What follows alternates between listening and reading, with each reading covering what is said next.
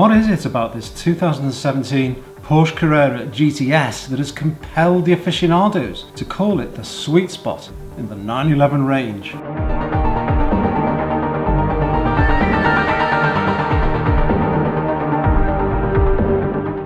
That's a range that begins with the Carrera, then there's the Carrera S, near the top there's the Turbo S which is monstrous and there's the GT3 track weapon but sitting there right in the middle is this car, the 911 GTS and I've got to tell you this car is absolutely epic.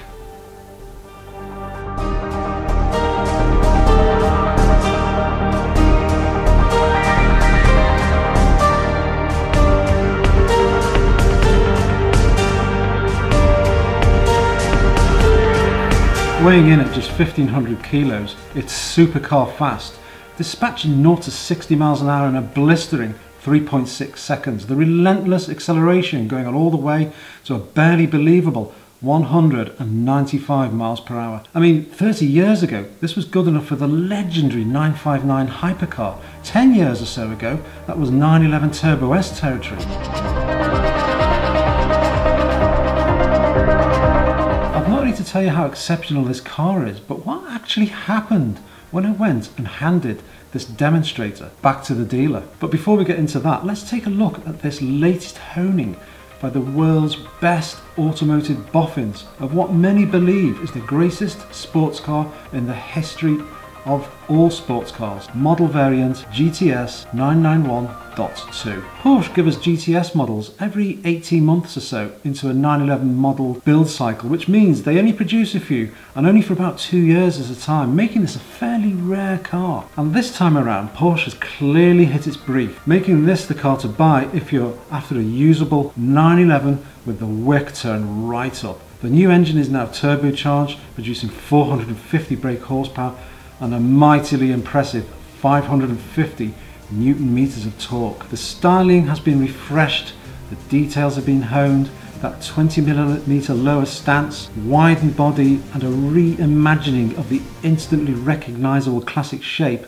all amount to what is an undeniable center stage kind of car. There is the highest quality engineering everywhere you care to look from the impeccable trimming of the interior, crafted switches and controls, beautifully made instruments, interior quality is really a wonder to behold. Those fans of the 911 will love it. There are lots of particularly desirable details and specification tweaks. The joy of the Carrera GTS lies in the specs. Aficionados will spot the smoked rear lenses, darkened trim, black tailpipes and those centerlock 20 inch alloy wheels.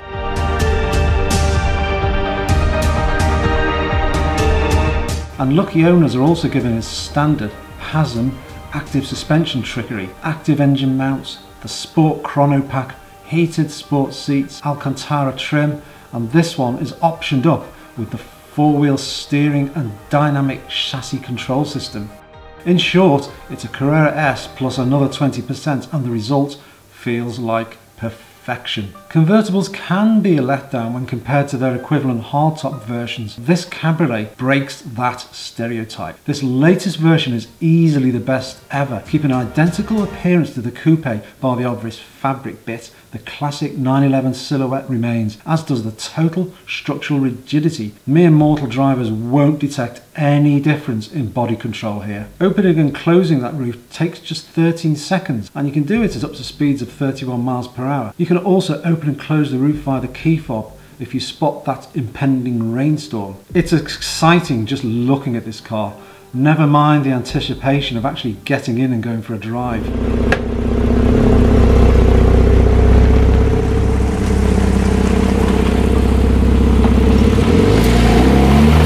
Up front there is plenty of room for two adults and you can sit just about two adults in the rear but only for short distances. Those standard sports seats have a good level of support and bolstering for your back and are extremely comfortable with excellent side supports. Just the thing for keeping you in your seat when you're cornering enthusiastically. Even when you are pootling around town, the 911 is comfortable and really very enjoyable to drive. At this point, I just thought I'd share with you what it was like the first time I actually put my foot down properly in this car. We're in Sport Plus and we're going to floor it.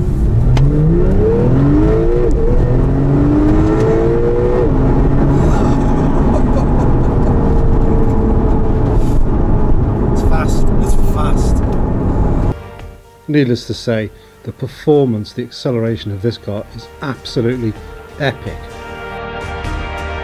Road, tyre and wind noise are kept to a minimum and the car is well insulated with the roof in place. It is hugely capable on the road and easy to live with if you have to get embroiled on a motorway drive. It really starts to wake up though as the speed increases. In all ways this car feels devastatingly effective. It comes as no surprise to hear it's massively fast on the track, particularly with the PDK gearbox and the four-wheel drive. And while the Carrera's switch to turbocharging was a big deal when it was first announced, it's not something to fret about. Flat 6 pulls hard from as little as 1500 RPM, and joy of joys, there's little indication that it's turbocharged. With the sports exhaust turned on, it's a loud, hard-edged soundtrack and makes entertaining pops and bangs on the overrun.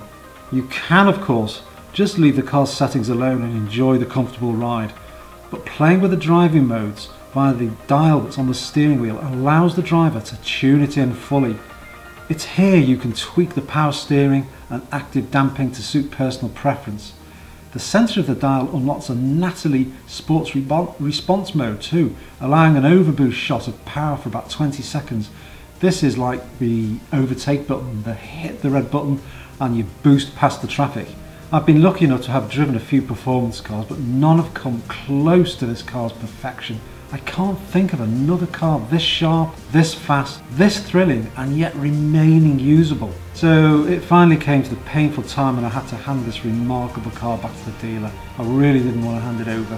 Agony was followed by agonising. Could it be that the salespeople had a point, explaining how Porsche limit the supply of the GTS, resulting in them keeping their value better than a Swiss pension fund? Could it be that this car could cost minimum amount of money to own, and that while Porsche won't ever permit price discounting, a dealer will give away goodies, a few options, service packs, bits and pieces at this time of year? Well, I didn't have the strength of will to resist. I caved into the salesman can't believe it. I handed over my 5,000 deposit and I've now put myself on the waiting list for what will be my very own Carrera 911 GTS. Watch this space.